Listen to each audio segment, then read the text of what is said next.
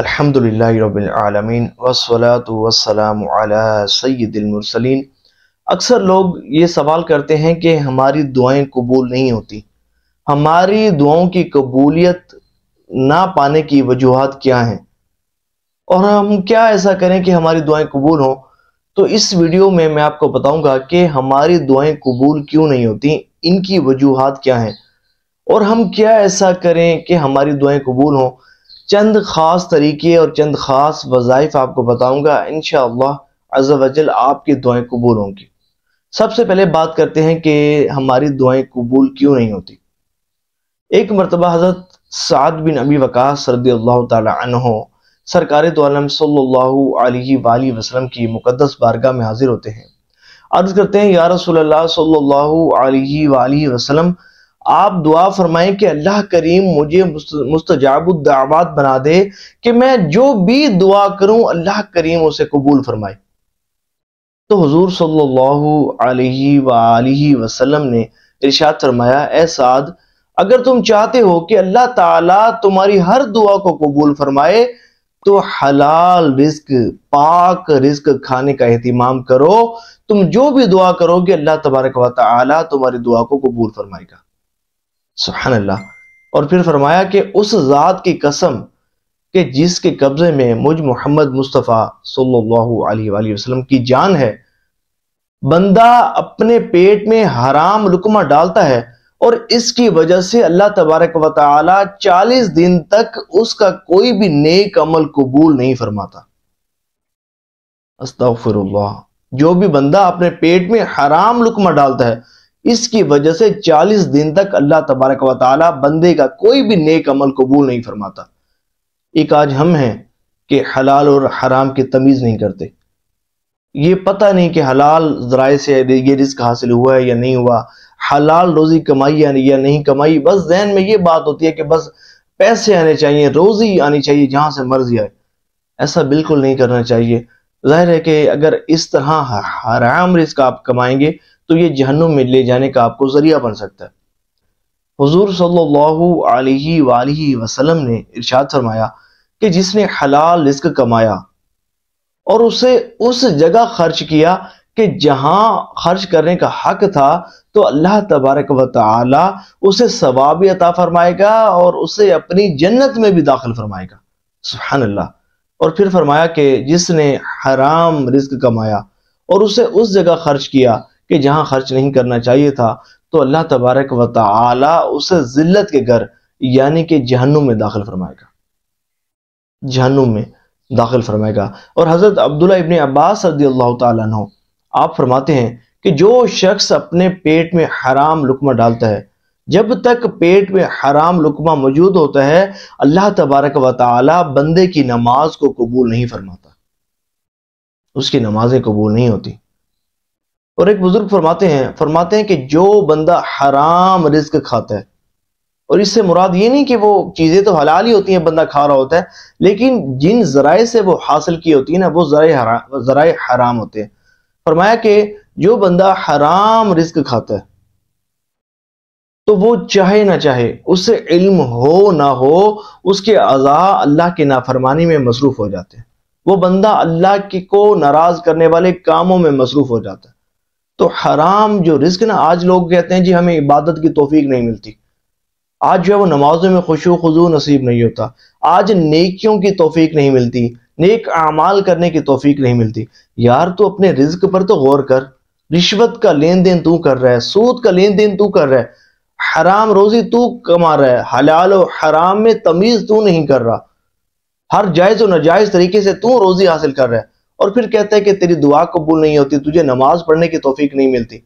देखें, जो बंदा हराम कमाता है ना, यकीन माने वो बड़ा ही बेवकूफ़ और बदकिस्मत और बदनसीब शख्स है। कि देखें, इसने हराम कमाया, इसने अपने घर वालों को आकर खिला दिया। अब रोज़े क़यामत क्या होगा? जब अल्लाह करीम इसके बच्चों से पूछेगा कि भाई तुमने हर, हराम रिस्क क्यों खाया था? तो वो कहेंगे मौला हमारे वालिद से पूछ। यही तो हराम कमाता था आकर हमें खिलाता था। उसकी वालदेन को बुलाया जाएगा। वालदेन भी यही कहेंगे ये मौला यही तो हमें हराम खिलाता था। उसकी घरवाली को उसकी बीवी को बुलाया जाएगा। तो वो कहेगी मौला यही तो हराम खिलाता था। तो गिरफ्त किसकी होगी? इसी की गिरफ्त होगी। अल्लाह न करे हराम कमाने के सबब हमें जहनुम में डाल दिया गया तो हमारा क्या बनेगा? आज जो है वो लोग तमीज नहीं करते। यकीन माने करोड़ों अरबों रुपए जो है वो हराम के उन्होंने अपने पास भर रखे होते। और मौत का पता नहीं कि किस वक्त जो है वो मौत का वक्त आ जाए। देखें, आपने ये जो हराम तो कमा लिया, अपने पास महफूज भी कर लिया, लेकिन कब तक खाएँगे? मरना है, आखिर मौत है। होगा क्या कि आपका इंतकाल हो जाना है? जितनी भी आपने हराम रिस्क से हासिल किया, जितने भी दो नंबरी से, दो नंबर तरीके से, और जिस तरह करप्शन करके आपने मालो दौलत इकट्ठा किया, ये आपके लिए बबाल जान बन जाएगा। आपको उस तमाम माल का हिसाब देना पड़ेगा। किस तरह देंगे? आपने तो दुनिया से रुखसत हो जाना है। और पीछे जो है वो आपके जो वारिसीन है, वो अयाशी करेंगे। और अब मैं आपको बताता हूँ कि वो कौन से तरीके ऐसे हैं कि जिनको अगर आप अख्तियार करेंगे तो अल्लाह तबारक व ताली आपकी दुआओं को कबूल फरमाएगा। वो ये कि आप जो है, या समी ओ या समी ओ ये एक तस्वीर अगर जो है वो हलाल रिस्क खाना है, पहले मैं बात कर रहा उसके बाद की बात कर रहा ये तस्वीर अगर आप, जो शख्स सौ मरतबा ये तस्वीर पढ़े, अव्वल आखिर द्रुद पा के साथ, उसके बाद दुआ करे तो अल्लाह तबारक वाली उसकी दुआ को कबूल फरमाता है। दुआओं की कबूलियत चाहते हैं तो आप बकसरत दुआ भी किया करें और दूसरों को भी दुआ दिया करें। जैसा कि एक शख्स था, उसकी दुआएँ बड़ी कबूल होती थी।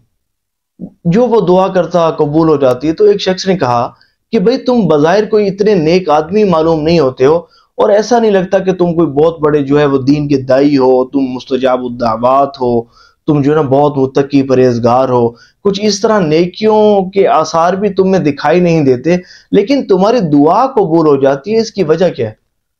तो उसने कहा कि इसकी वजह यह है कि जब भी मैं घर से निकलता हूँ ना, जो भी बंदा मेरे सामने आता है ना, मैं उसके लिए दुआ करता हूँ।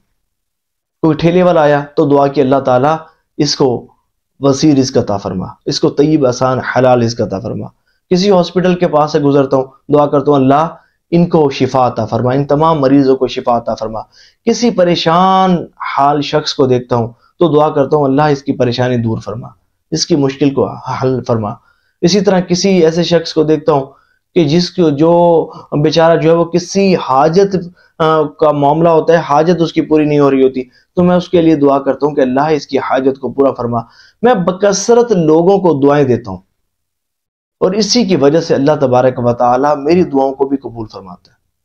सुबहान अल्लाह सुबहान अल्लाह हदीस तयबा में भी आता है ना? कि जो शख्स अपने मुसलमान भाई की गैर मौजूदगी में उसके लिए दुआ करता है तो वो दुआ कबूल होती है। और यहाँ तक आया है कि जो शख्स किसी मुसलमान के लिए दुआ करता है तो फरिश्ता कहते हैं, अल्लाह इसकी दुआ, इस, इसके हक में भी दुआ को कबूल फरमा। पहले इससे अता फरमा सुबहान अल्लाह तो दर हकीकत जब आप दूसरों के लिए दुआ कर रहे होते हैं तो समझे कि आप अपने लिए दुआ कर रहे होते हैं। अपने लिए दुआ कर रहे होते हैं। तो दुआएँ बकसरत दिया करें। खैर खाई ये भी एक मुसलमान की खैर खाई है। और फिर फरमाया गया कि जिसने तमाम मोमिन मोमिनत मुस्लिम मुस्लिमात के लिए मगफरत की दुआ की तो तमाम मुसलमानों के बराबर सवाब उसके नाम अमाल में दाखिल किया जाएगा, शामिल किया जाएगा। तो ये दुआएँ बकसरत करनी चाहिए हमें। इसका बहुत ज़्यादा इम्पैक्ट पड़ता है।